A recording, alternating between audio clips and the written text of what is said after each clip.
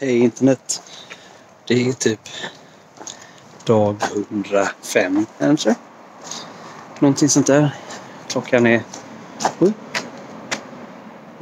Inte snuten förbi tror jag. Här är ambulansen.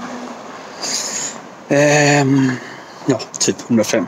Sådär, inte riktigt helt hundra. Klockan är strax 12.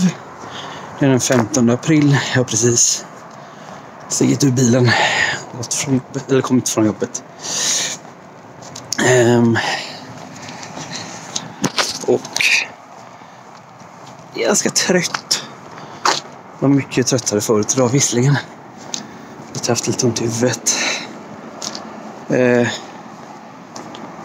och sådär. Varit lite tjafs på jobbet. Men det blir säkert bra. Hoppas att det löser sig med folket. Ehm, jag ska gå in förhoppningsvis. Jobba lite med podden. Men typ inget avancerat. Tanken är väl bara mer skriva en rad eller två bara för att få ut någonting. Så ja, det var väl typ det. Ha det bra. Hej då.